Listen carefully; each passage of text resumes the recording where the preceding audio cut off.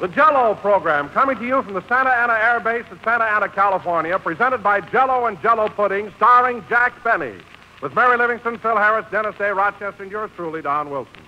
The orchestra opens the program with I Am an American.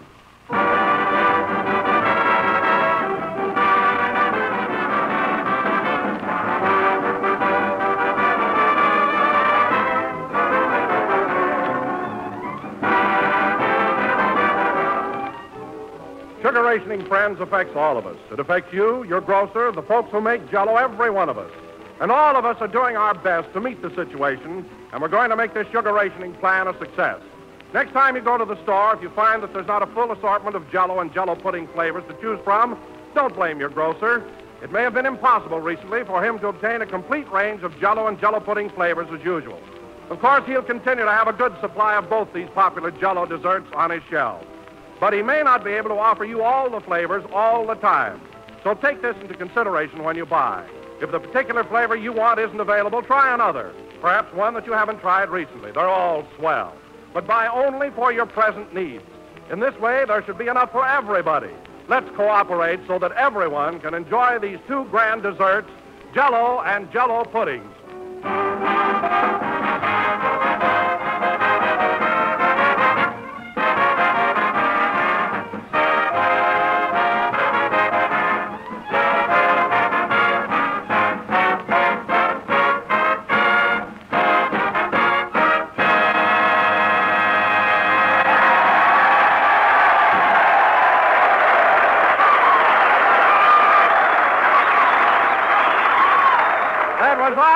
American, played by the orchestra. Now, ladies and gentlemen, from the United States Army Air Base at Santa Ana, we bring you a man who drove us here in his old tin canna, Jack Benny.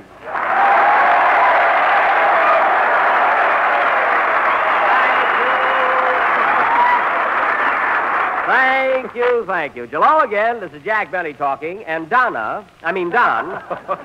as long as I was nice enough to give the whole gang a lift down here in my Maxwell, I don't see any necessity for referring to it as a tin can. But, Jack, your car isn't exactly the latest model, and besides, it's so slow. What do you mean slow? Look, it's only 50 miles from Hollywood to Santa Ana, isn't it? Yes. Well, all I say is if we leave Saturday morning, we should get here the same day.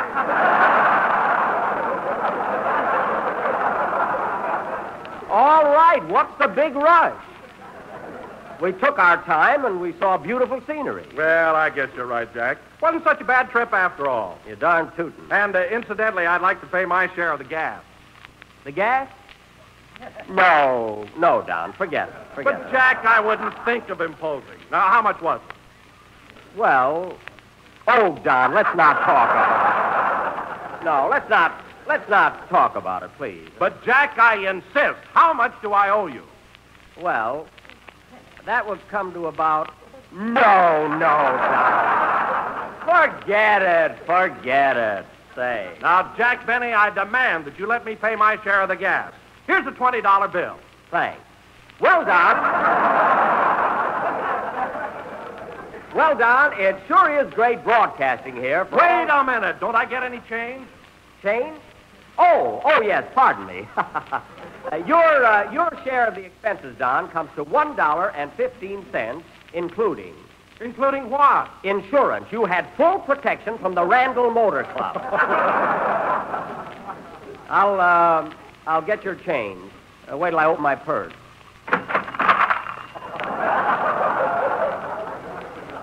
Here you are. Well, as I was saying, Don, it sure is great broadcasting for all these Army men. Yes, Jack, I'm getting a big kick out of it. Me too. Well, look who's here, the sweetheart of the Air Force. Keep 'em sighing. That's my motto.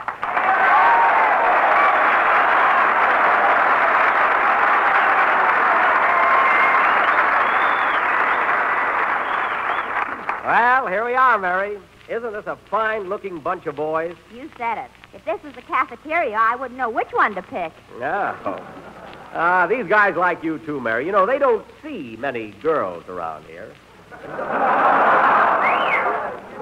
No, but they see plenty of them in Laguna Beach and Balboa. Now, wait a minute, Mary. These boys don't go to Balboa to flirt with girls. They don't, eh? No. They go there to have fun on the roller coaster. and throw baseballs and win Popeye dolls. And ride in the tunnel of love. With a Popeye doll, you're crazy.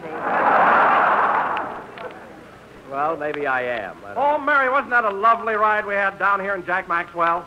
Lovely. Now, Don, if Mary doesn't want to help pay for the gas, she doesn't have to.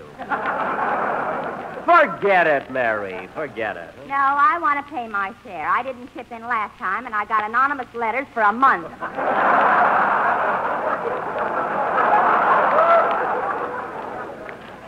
Anonymous? I wonder who could have. Oh, yes. Anyway, uh, anyway, Mary, you don't have to pay the dollar fifteen for this trip. Oh, I'll pay it. Where else can I ride 24 hours so cheap? Well, we we would have made it much sooner, Mary, if it hadn't been for that bridge out. And that's another thing. Why did you make us all get out of the car and look for your bridge?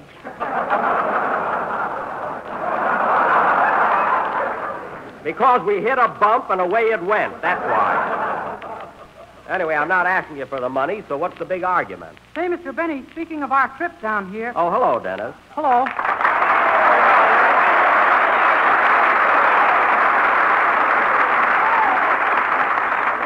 Well, that's uh, that's quite a that's quite a hand you got there. Yeah. Say, Mr. Benny, speaking of our trip down here. How uh, how do you feel, kid? Oh, all right. I thought I had the mumps early in the week, but it turned out to be a tennis ball.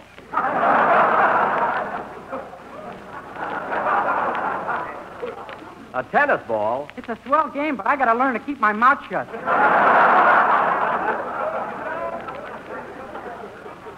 Yes, yes, that would help, you know. Say, Mr. Benny, speaking of our trip down here, Yeah. I'd like to pay my share of the expenses. Well, why didn't you say so? Uh, you owe me one dollar even, Dennis. Okay, here it is. Wait a minute, Jack. How come Dennis pays only a dollar and you had Mary and me down for a dollar fifteen? There was a 15 cent reward. Dennis found my bridge.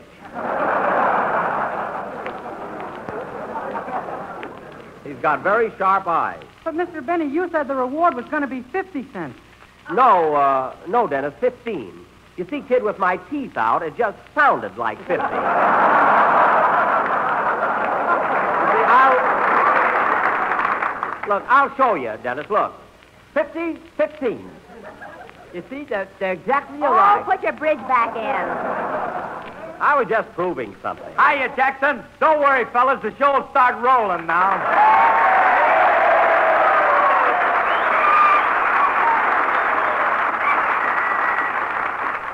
What a ham. I suppose the show doesn't get started till you get here, Phil. Huh? Oh, it gets started all right, but when I come on, I'm like a ray of sunshine, a breath of spring. Phil, if that's spring on your breath, I've never smelled a Scotch old fashioned. See, they know you. They didn't even let me finish the gag.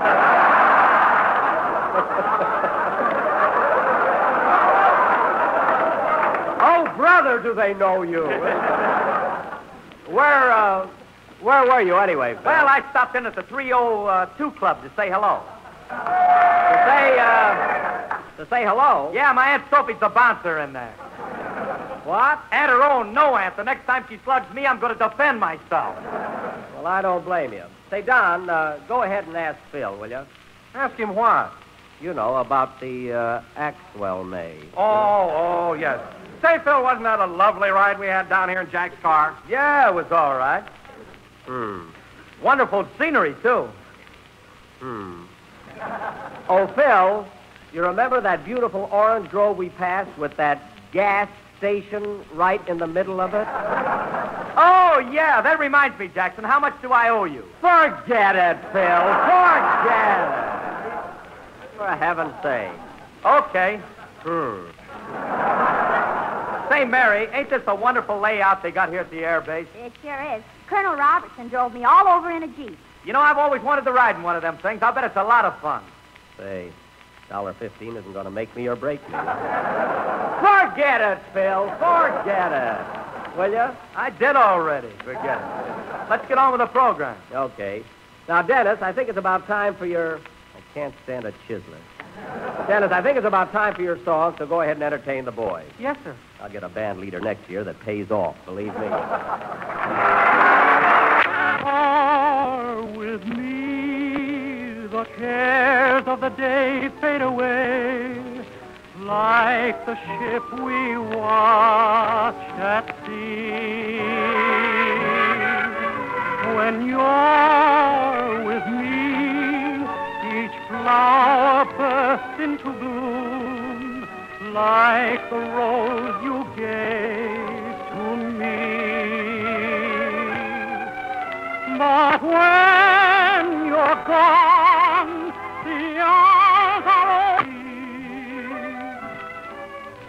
And so, my love, I pray there may come a day there'll be more than just memories when you're with me. But when you're gone, the hours are all long, they seem to reach into eternity.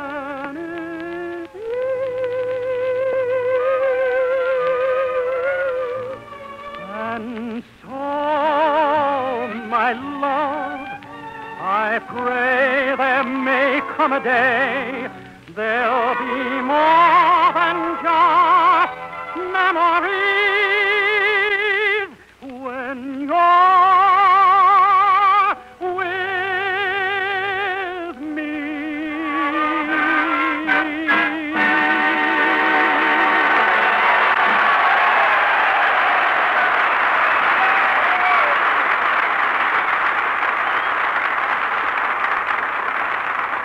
Yes, sir, that old Devil C. That was When You're With Me by Harry Glick and Jimmy Lambert, sung by Dennis Day. Very good, Dennis. Say, Mr. Benny, remember last week when I dedicated my song to the navigators and you told me what a navigator was?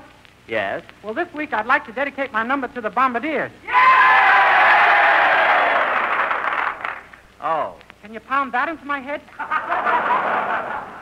Now, Dennis, I'm not going through that again. I'll tell you later. Tell him now, Jackson. I'm an eager beaver, and I want to get help. Eager Beaver, what's that? Well, that's what they call a cadet around here that's snappy, on his toes all the time, like me. Oh. Well, Phil, you're not exactly an eager beaver. You're more the jerky turkey type.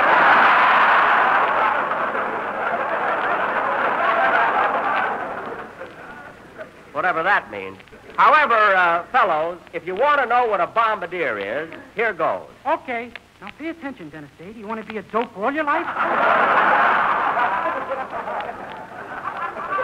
Quiet. Now, the, um, the bombardier, fellas, sits in the glass enclosed nose of the ship. And when the navigator advises him they are nearing the target, he starts regulating his bomb sight. This delicate instrument represents the optimum in mechanical precision and coordination. Oh, I get it. Good. Is it risque?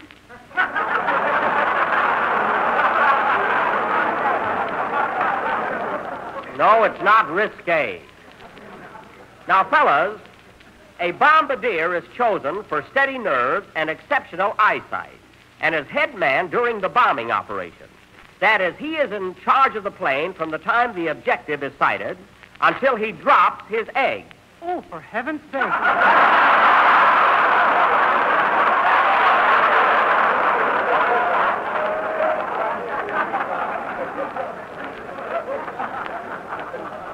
Dennis, they're not really eggs, they're bombs. Oh, once. once the bombardier. once the bombardier has released the bombs, he relays this fact over intercommunication. And the plane proceeds to its home base. Now, are there any questions? Yeah, I wonder if it's going to be twins or triplets. Take it easy, Phil. He's uh, he's expecting folks, you know. Anyway, fellas, I hope I have clearly explained the bombardier and bomb sight. You certainly have, Jack. And now let me explain about Jello. Hmm. Ladies and gentlemen, if you're in constant intercommunication with your neighborhood grocer, ask him for a package of Jello. You will find that it's not only economical and easy to make, but it's America's favorite gelatin dessert. And I know a bomb sight more about Jello than I do about aviation. I thank you. Well, you're in there punching, Don. I wish I'd have thought of that myself. You know, that's one of the cleverest. Come in. Got a special delivery here for Mary Livingstone.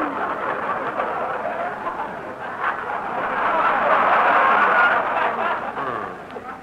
I'll take it. Here you are, Mary. Got a sign for it, you know, government regulation.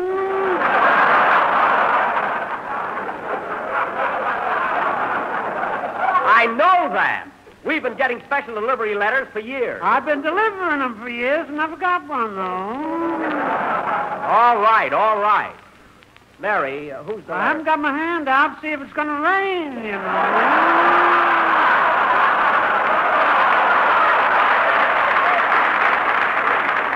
Oh, yes, yes, the uh, tip. Here you are. Oh, boy, a nickel. Now, now I can buy a half Saturday Evening Post. Get out of here.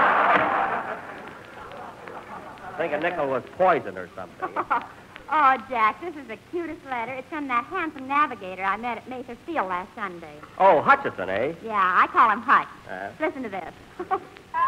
My dear Miss Livingstone, or may I call you Doll? gee, he went right past Popeye, didn't he?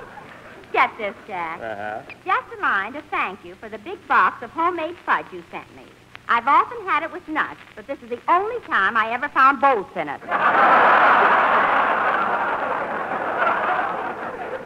Bolts in it. Uh, they were really nuts, but I didn't take the shells off them. Oh, oh, oh, oh. Continue.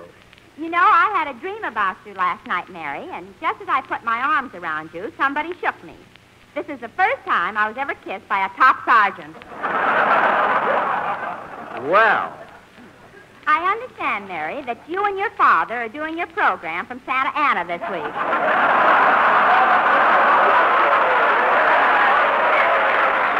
wait a minute. Did you tell that guy I was your father? No, he classified you himself. Prematurely gray, and he thinks I'm your father. Well, my father's prematurely gray, and he's younger than you are. All right, all right. Younger than you are, younger than you are. Never mind. Finish the letter. Anyhow, Mary, watch out for the cadets at Santa Ana. If you happen to go to Balboa with any of them, don't ride to the Tunnel of Love unless you take your father with you. There he goes again. Mary, when you write to him, straighten that out, will you? No other news, so we'll close with love to you from your own little Hutchie. Hutchie's about six foot two, and he's getting kittenish there. P.S. If you send me another box of that fudge, I'm going to keep it till I fly over Tokyo. That'll do the trick. Say, that guy writes a pretty good letter, but you know, Mary, I don't think you should be making fudge when everybody's trying to conserve sugar.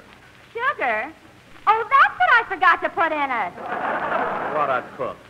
Hmm, And now, ladies and gentlemen, this being I Am an American Day, as a special attraction, we're going to offer a musical salute to, uh... Pardon me, I'll take it. Hello? Hello, Mr. Benny. This is Rochester.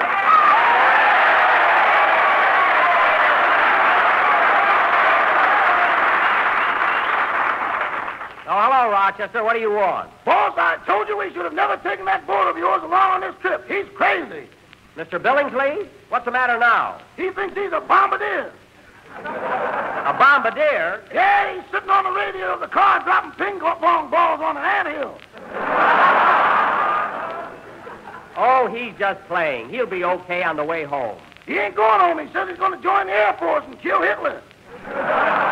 Well, what's wrong with that? About five minutes ago, he looked right at yours truly and said, That suntan ain't fooling me, Adolf.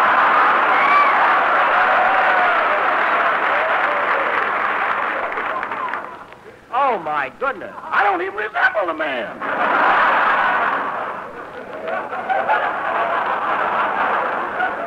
Be calm now, Rochester. When I see Mr. Billingsley, I'll explain things to him. Well, don't let your bridge work stick out. He thinks you're a Jap.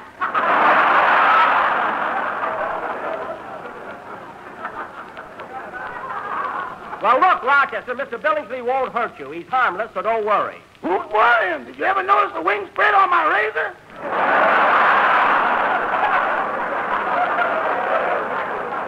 You leave Mr. Billingsley alone. Now, Rochester, bring the car over here to the camp and pick me up right after the broadcast. Goodbye. Goodbye. Oh, say, boss, Now what? I got bad news for you. I wasn't able to get that blowout fixed. You couldn't fix the blowout? Well, how are we going to drive home? It's all set. We got three tires and a hoop snake. Well, that might work. So long. I wish Rochester would try to understand Mr. Billingsley. After all, he paid me $115 to come down here. And now, ladies and gentlemen, this being I Am an American Day, as a special attraction, we're going to offer a musical salute to a great American, George M. Cohan. The orchestra is going to play a medley of some of his most popular song hits, which are now in Jimmy Cagney's new picture, Yankee Doodle Dandy. Take it, boy.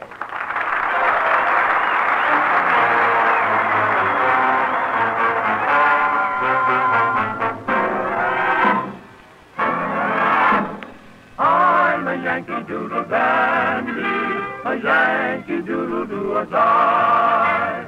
Yankee Doodle came to London just to ride the pony. I am a Yankee Doodle boy.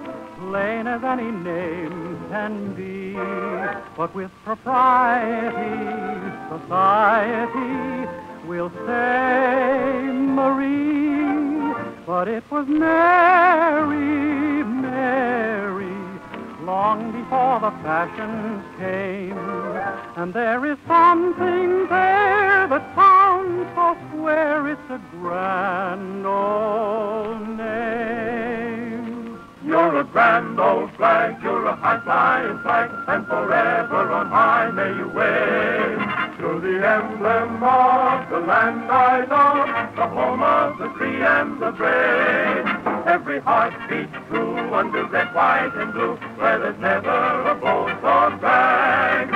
But should old acquaintance be forgot, keep your eye on the grand old flag. Keep your eye on that grand Oh,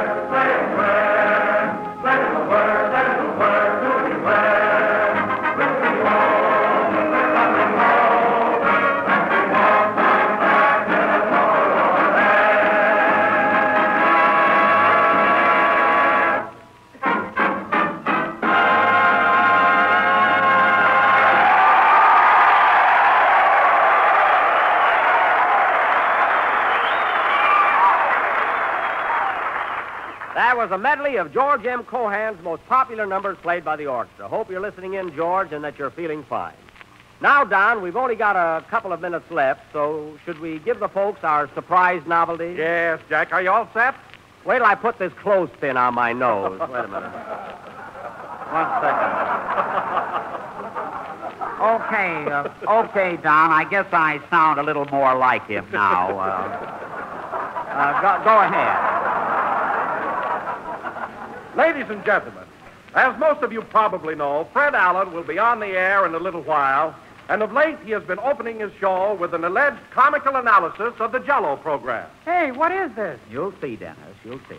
Now, this evening, folks, we would like to give you a preview of approximately what Mr. Allen will say about the program we've just concluded. Mr. Allen would probably start out something like this. Good evening, ladies and gentlemen. this is Fred Allen, that meager beaver talking. and Jimmy, did you by any chance listen to Jack Benny's program tonight? Why, no, Fred, I didn't. Well, you didn't miss much. Benny was broadcasting from the Santa Ana Air Base out in California. He's been playing quite a few air bases lately. That's because they've been giving him free oxygen for his flat lungs. What else did he do, Fred?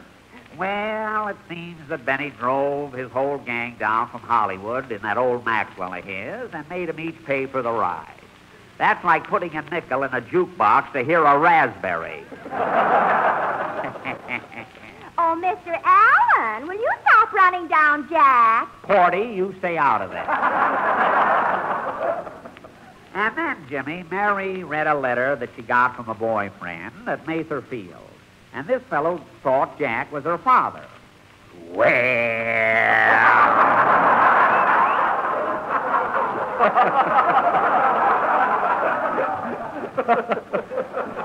Well. you can't blame the boy for thinking Jack Benny is that old. After all, the only reason George Washington stood up on the boat when he was crossing the Delaware was because Benny made his pants too tight.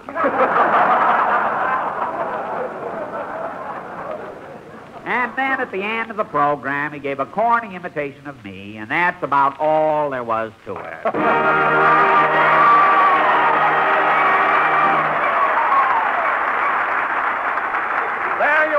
ladies and gentlemen, a preview of what Fred Allen will say about Jack Benny. So if you still want to listen to his program, don't say we didn't give you fair warning. You said it. Play, Phil. Dad and mother, sister and brother, they'll all love this swell new salad treat. Sea Dream salad made with delicious lime jello. And there'll be extra pleasure in it for mother because it's so easy to make. Now, here's all you do. Just dissolve a package of lime jello in one pint of hot water. Add one tablespoon of vinegar, one half of one teaspoon of scraped onion, one half teaspoon of salt, and a dash of cayenne and pour it through a sieve. Then mold and serve on crisp lettuce with mayonnaise. And there's a delightful summer salad the whole family will enjoy. A tart, tantalizing salad made with cool emerald green lime jello. Perfect for warm weather meals. Get a package of lime jello tomorrow and serve this grand Sea Dream salad real often. But remember when you buy, be sure to get genuine jello because jello's flavor is locked in, extra rich. We're a little late, so thanks, Colonel Robertson and all the boys, and good night. The Jello program is written by Bill Morrow and Ed Beloin and is broadcast each week by shortwave to our armed forces throughout the world. The presentation of this program from Santa Ana has been for the entertainment of the personnel stationed here and does not constitute an endorsement of our product by the War Department or its personnel.